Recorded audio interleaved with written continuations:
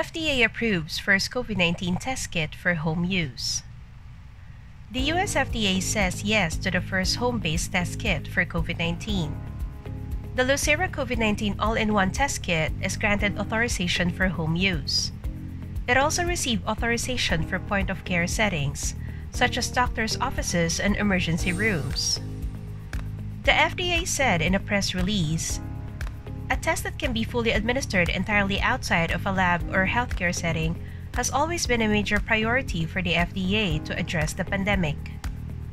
Self collection of nasal swab samples for the test can be done by people aged 14 years and older. The test is recommended in those suspected of COVID 19. But the collection of samples for people younger than 14 years should be done by a healthcare professional. And because the authorization is for emergency use only, the test kit is prescription based. The samples collected are stored in vials. The vials are then placed on a portable testing unit. Within 30 minutes, the unit will show in the light display if the sample is positive or negative of the coronavirus. People with positive test results need to self isolate. They also need to notify their healthcare provider about the results. They may require medical attention, especially when their symptoms worsen.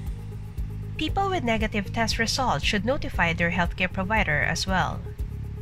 The test may show a negative result, but it does not mean they cannot be infected.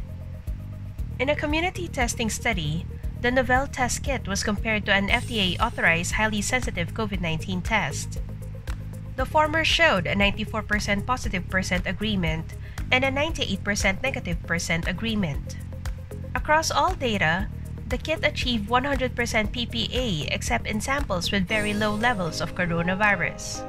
At the moment, the product is limited to healthcare networks and POC settings.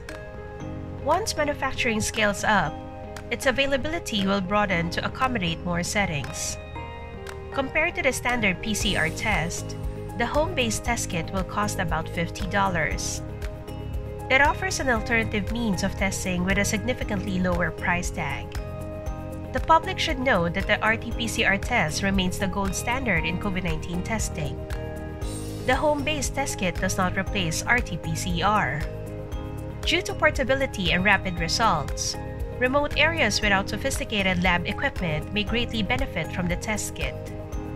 It may help COVID 19 diagnostic efforts to cover more ground. Depending on its success, the portable test may become a part of workplaces.